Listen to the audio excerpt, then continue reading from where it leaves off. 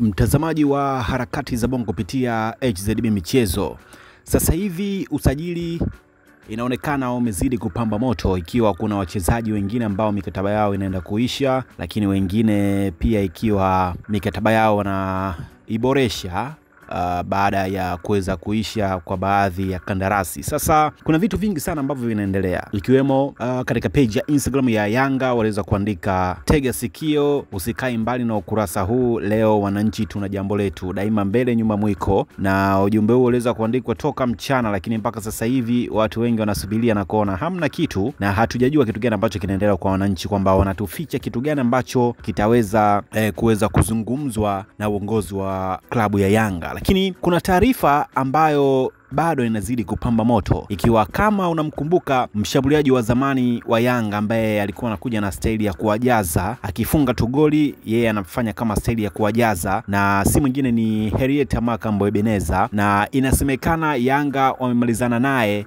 mshambuliaji huyo Henrietta Makambo ambaye yuko kwao Kongo kwa mapumziko ya mwezi huu mmoja, ambapo ligi zote zimesimama na tayari makubaliano ya awali yamefanyika na usajili wa Makambo miongoni mwa wasajili za kwanza kabisa kwa klabu ya Yanga msimu ujao. Henrietta Makambo amebakiza tu mkataba wa muda mchache na timu yake ya Horoya ya kule Gine. Inasemekana muda wowote anaweza akaangusha saini katika klabu ya Yanga, lakini Yanga wanaingia katika klabu ya Horoya wakiweza kununua mkataba wa Makambo. Ina maana lazima mwage pesa, hatoenda bure kama alivyotoka Yanga kwenda Horoya. Alikuwa makubaliano yake binafsi kwa ajili ya mshahara, lakini pesa yote ambayo ilisajiliwa ilienda kwake, haikuingia katika klabu ya Yanga. Lakini sasa hivi Horoya inaonekana watafaidika na Helieta Makambo kwa kuweza kumuuza katika klabu ya Yanga na ataweza kuvuna kiasi ambacho kitawekwa wazi.